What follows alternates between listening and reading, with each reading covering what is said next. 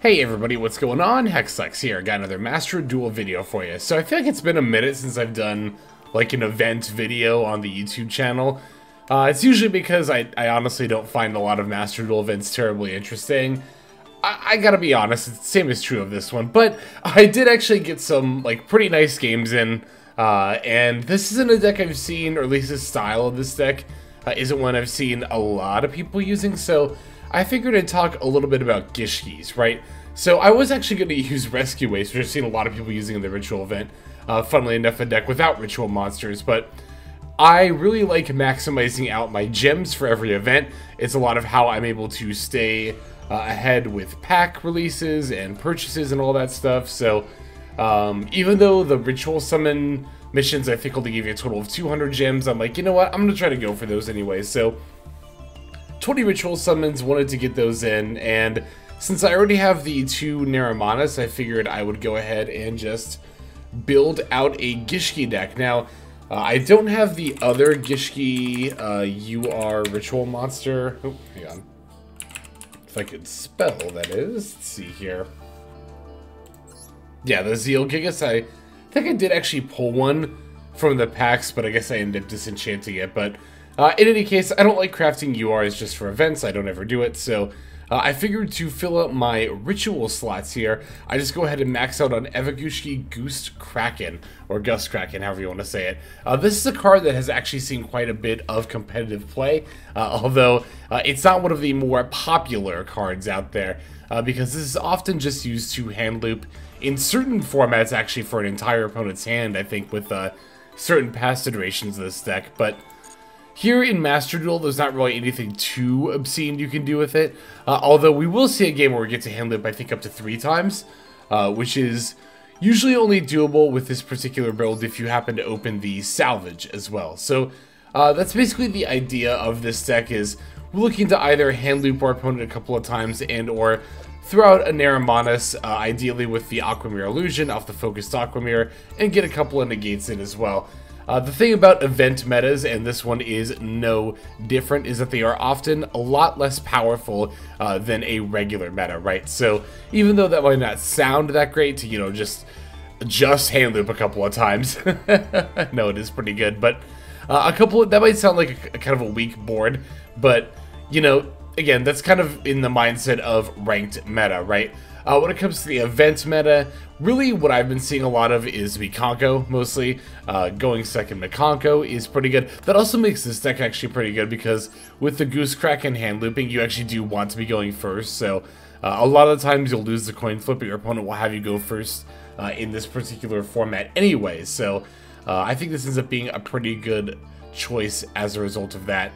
And also, like I said, uh, the Neremanas negation is actually really, really good um, because it not only negates the monster effect, but also shuffles it back into the deck. So uh, you often kind of end up looping your opponent's cards back that way as well. As far as like the Gishki cards go, we got the usual cast here, you know. Uh, we're maxing out on Shadows and Divisions, uh, so that way we can get to our, obviously, our ritual stuff as soon as possible. Uh, also, we definitely want those two cards with Salvage, like, uh, honestly, opening these two plus salvage is like an ideal opening hand. Like, that's like perfect. So, uh, on top of that, we're maxing out on Grimnesses, two Abyss in case we like open one or draw one or need to do one on a later turn for follow-up plays. Uh, we're also playing three Beautiful Princess, which is really just another means of getting the Grimness out of the deck. So, uh, in this build, this is kind of just like playing three more copies of Grimness, with Grimness really being the only thing we want to normal summon here, uh, unless we only open Abyss, and then, you know, we'll only, we'll, then we'll summon that, but, uh, you know, obviously you would rather go for the Grimness. Uh, for additional consistency, of course, we have the three focalized Aquamirror. Uh, like I said, we are playing three of the Gishki Aquamirror. Uh, in a deck like this, a build like this, where you're looking to loop the Gus Kraken, you definitely want the three regular Aquamirror because the ladder effect here will allow you to shuffle this back from the graveyard to add back a, a ritual monster from grave to hand. So if you got two of this, uh, as well as the Aquamirror. You can use Aquamirror, send a Kraken, summon a Kraken, then shuffle the Aquamirror back and add the second Kraken back to your hand. And again, between the salvages and the shadows and the grimnesses to search shadows, uh, it's not hard to have another ritual spell and then summon another Kraken. We also have the preparation of rites is like kind of like Salvage. It's a little bit more flexible. It can only search the Gust Kraken uh, because it only searches level 7 or lower rituals, so it can't grab Neremanas, but uh, that's fine. Uh, you know, if you're in the midst of looping Gust Krakens, the idea is that you can add one of these from deck to hand, and then also get your Aquamirror back to continue to ritual summon. It's a little bit more situational in a build like this, though, but I think it's still fine. Uh, if you wanted even more consistency, you could add one for one to get the Beautiful Princess a little bit more often and turn the Grimness line a little bit more often as well. But uh, I've elected to fill out the rest of the main deck slots here with just a little bit of disruption. Uh, the Ash Blossoms, the Imperms, uh, as well as Callbys for Ash Blossoms because the Ash Blossom uh, really, really hurts this deck uh, very much. This is easily like the hardest counter to this deck, so I like having the Callbys here. Um, and yeah, I think that actually covers pretty much the entire main deck there. For the extra deck, uh, I mean, it's the you know it's the ritual event, so we literally have three cards in here that we can't even use just to round it out. Although it might be worth it to have fewer cards in the extra deck. The reason I maxed out on the extra deck is because I was planning on playing uh, like Prosperity, but I ultimately decided not to. I think I put in like the call buys instead, so uh, that's why we still have some leftover cards here that we cannot use at all in the extra deck. But uh, we can use Dyna Mondo, and there is actually, we're going to see a game where this card does come up. So uh, Dyna Mondo, I definitely do recommend having.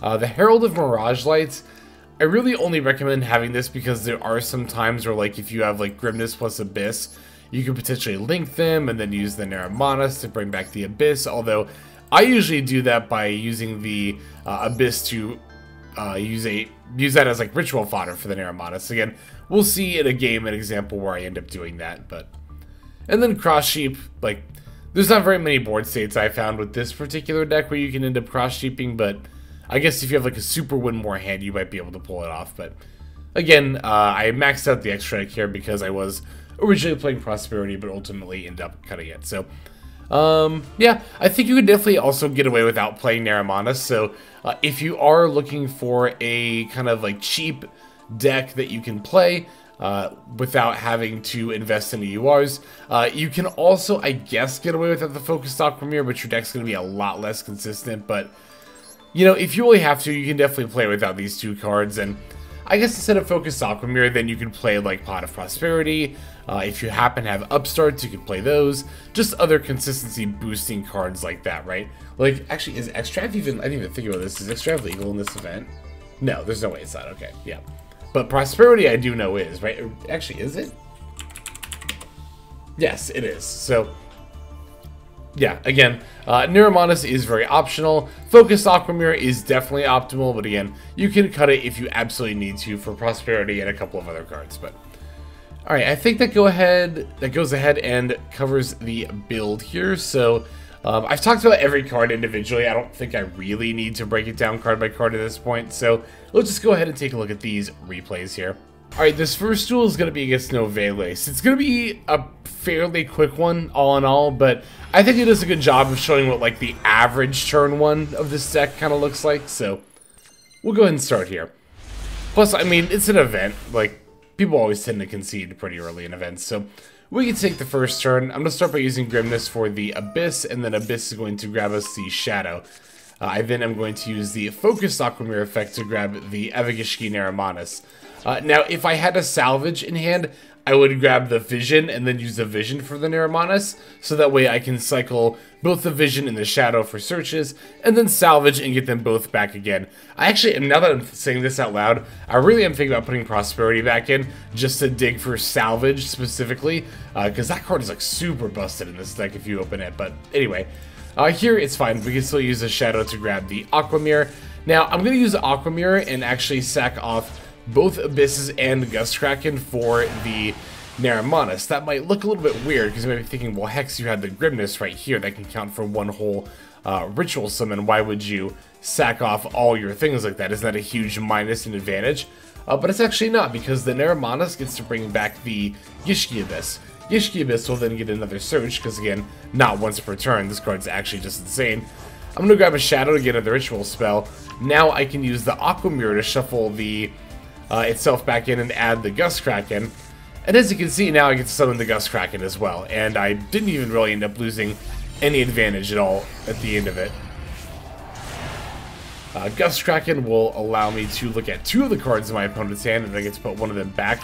I see a Call By, and I also see the uh, level 1 Novelis. I put back the level 1 Novelis, setting the Call By, and then end phase I get to use the Focused Aquamirror in order, in order to set up the Aquamirror Illusion. So uh, what this does is now I have the negate set up with the Neremanas. I can negate one of my opponent's monster effects and shuffle it back into the deck. And then Aquamirror Illusion will allow me to do it all over again. So uh, again, I would consider this a very average turn one setup for this deck in this event, from from my experience anyway. So, and as you can see, yeah, that's going to be a fairly quick one. Opponent isn't going to be able to play through it. I guess they didn't even want to try to. Again, that's how events. This is usually how event games go. You like kind of set up, and your opponent usually concedes shortly afterward. But let's go ahead and see another duel here.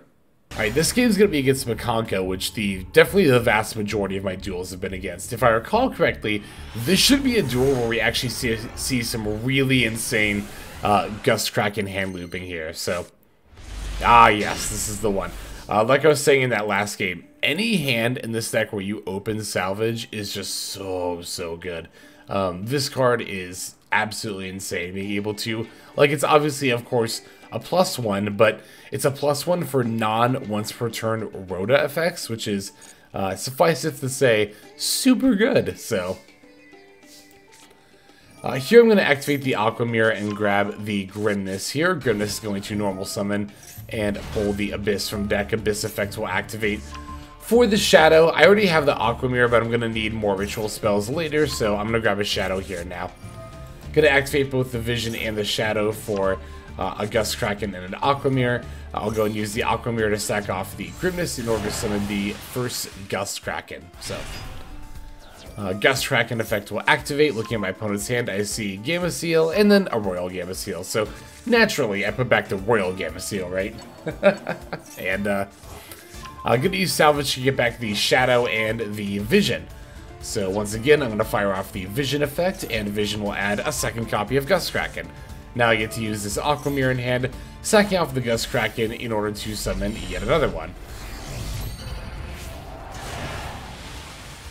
So once again, we'll be looking at two cards in our opponent's hand and putting one of them back. This time I see Preparation of Rites and the Gamma Seal again. So I'm going to put back the Preparation here. I get to use the Aquamirror's effect because this is also not a once per turn effect, adding back the Gust Kraken. Gonna fire off the Shadow, also not once per turn. For the Gishki Aquamirror, also not once per turn. So, it's a running theme of this archetype. For some reason, nothing is a once per turn except for Grimness. And the things that aren't uh, Grimness that are once per turn are all soft once per turn. So, Final Gust Kraken is going to see that same Gamma Seal as well as the Hidden Armory. It's so unlucky. Like, if I had been like super optimal with my luck here, I actually could have left my opponent with just double Gamma Seal in hand, but it was just unlucky to see that same Gamma Seal in every single reveal, but oh well. So opponent's on Gamma Seal and two unknowns, but as you can see, that's going to be enough for them to concede here. I will say, I will say this much. There is a world where maybe they could have had an out, right? Um, it's definitely not impossible, but uh, I will say with the triple hand rip, uh, especially taking out the preparations and the hidden army, both searching consistency boosting cards from their deck, uh, it does end up becoming a lot less likely that they're going to end up having plays there. So there is that game. Let's go ahead and see the next duel here. Okay, so I figured I would show a game that isn't just my opponent snap conceding right away. Although, again, in events, that kind of is few and far between. but uh, we do actually have a pretty nice back and forth against a Mikanko opponent here. So, naturally, because on Mikanko, we're going to be going first. And this hand's, again, it's pretty average. Uh, the Grimness uh, is going to get negated by the Veiler. Actually, this hand would have been pretty good. Like, I think I could have actually made use of Preparation to both add the Kraken and also get back the Ritual spell if the Veiler had not negated the Grimness here. Now, I kind of just have to use the Preparation to, like, add Gust Kraken. Uh, what I'm going to do here is I'm going to do kind of the same thing I did during that first game where it looks like I'm about to minus 3 here. By just sacking, or actually minus 4, by just sacking off my whole hand and field to summon the Neremanas. But what I'm actually doing, once again, is I'm going to wheel back the Abyss to the field and then search with it, and then the Aquamirror will get the Gust Kraken back to my hand. So in turn, I'm able to summon these cards here. Actually, I don't know if I'm able to summon the Gust Kraken here. No, I can't, because I don't have the Grimness on the field. But I do get to use Aquamirror Illusion, or sorry, the uh, Focus Aquamirror to set the Aquamirror Illusion. So we do have that going for us. Opponent, thankfully for us, is going to Lava Golem and then pass. Um, I can only imagine they were just on an awful bricked hand here uh, to just only go Lava Golem pass. But you know what? We'll take it. There are so, so many times uh, already playing in this event where my opponent has just done this and then OTK'd me, so uh, I will definitely take the, the Lava Golem pass here. Uh, in any case, I'm just going to switch Lava Golem to attack mode and then summon the Shadow. Just move to battle. This threatens my opponent, uh, puts them on a two-turn clock, makes them draw an out here. They do end up with the Ha-Re, but uh, thankfully we have the Imperm to negate the search there. And also thankfully they only had the Mayowashidori, so uh, no searching, no summoning from deck or any of those other bouncing, taking control, the other equipped spell effects. We are taking this damage from Lava Golem, but things are actually going to be fine here. Uh, I'm going to use Salvage, or so I think, until they use it on the Grimness. Now, it might look like I'm not able to power through this Ha-Re, but I actually am. I'm going to use Aquamirror Illusion, right? Summon the Gust Kraken. No effect because it's not a ritual summon, but I get to actually perform a Link summon this event for the one and only Dyna Mondo. Uh, this card's going to come in so clutch here, right? I'm going to shuffle back the Gust Kraken and their Ha-Re, move to battle phase, and that's going to clear the board and allow me to swing in for lethal with both my monsters. Whew. This was actually the game where I was like, okay, okay, now I can make a video.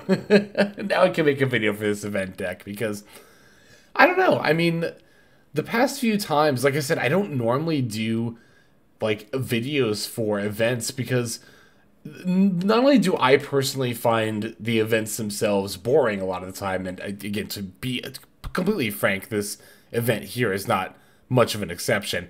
But on top of that, the games are just usually not that exciting to watch, right?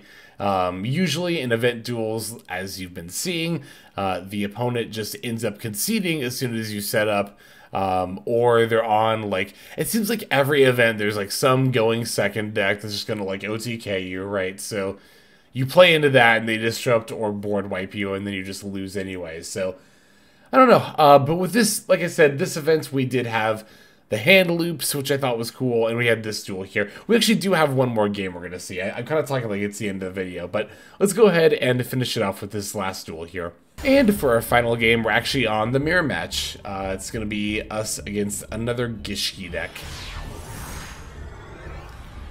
Alright, looks like we are going to be taking the first turn here. Love to see that. And, um, yeah, this hand's fine, you know. The double Aquamirror is a little bit, like, you know, not like the most awkward, but very slightly off. It would have been really bad if we had gotten, like, this, uh, View or Grimness negated here, right? Like I said, Ash Blossom is kind of this deck's, I guess Valor too, honestly, and Imperm. Ash Blossom, Valor, Imperm are like this deck's biggest bane, but... Yeah, uh, like I said, I'm kind of doing the same line here that I've been doing, where I do the Naramana summon using the Abyss and other monsters as a material to get the Surge, and then the Aquamirror gets me the Gust Kraken back anyway, so you know the drill by this point.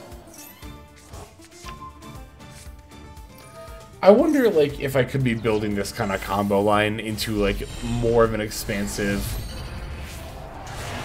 I don't know. Like, I have a bit of experience with, like, Naramatis and Gishki Sprite, but I'm not too experienced in, like, Gust Kraken hand looping, so here, obviously, I put back Grimness, and then we'll wheel the Gust Kraken back to hand uh, before passing back over to our opponent. Oh, and then Alchemir, of course, gets to set up the illusion as well for threatening the double monster effect negate.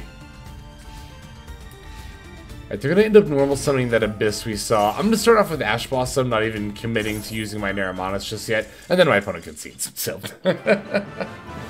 I don't know, like I said, it's like I was saying at the end of that last duel, you know? It's like, I kind of feel like a lot of the time. Like even now, having recorded these games, I'm like, you know, there was that one five turn duel, and there was the the triple gust kraken hand looping, but I don't know. For the most part, what you're seeing here and also in the first replay are just like a very succinct summary of what you know event games are like. So. I don't know. I don't mean to complain so much. Well, you know what? Honestly, I kind of do mean to complain so much. Like, I don't know. I, I just usually don't like focusing on like negatives or complaints, but Master Duel events are definitely one where I am more willing to be a bit more vocal about that because I think that we could do so much better. It's just a shame that we're not getting more stuff like NR format or Limit One uh, that really force you to like that really shake up what your deck building is. It's like I'm just so sick of like this, you know. Oh, do do a summoning type that's clearly being pushed by the latest stuff we've been putting out. You know, get that get those Novellis cards, do that Libromancer secret pack, etc., etc. Um, eh, I don't know. It's just like it is what it is, I suppose. But let me know what you think of this event and the Master Duel events in general in the comments section below. I would, of course, as always, ever love to hear from you all too. But uh, for the time being, let's just go ahead and move now to our outro. Alright everybody, that's going to do it for this video. Thank you for watching all the way to the very end. That means a whole lot to me, and it's also a fantastic way to support the channel. And if you're interested in supporting the channel in other ways besides YouTube, there are plenty of ways to do that. If you check out the description below, you'll find a bunch of links down there. One of them goes to my Patreon. You're actually seeing the names of everyone subscribed to the Patreon on the screen right now. So if you're interested in getting your name in the credits here at the end, if you want to see more daily Master Duel content, or if you're interested in one-on-one -on -one private coaching sessions, I offer for all of that on Patreon. I also stream live on Twitch. Feel free to go ahead and click that link and follow and or subscribe there. I also have the Discord community, if you want to follow that link, where hundreds of duelists have already signed up. Free to join, and you can just come hang out, talk about the game, and chill in general. Final link that's going to be in the description is my Twitter. You can follow that if you want some more notifications of what's happening with the channel. So, all in all, thank you all so much for watching, and I hope you have a fantastic day.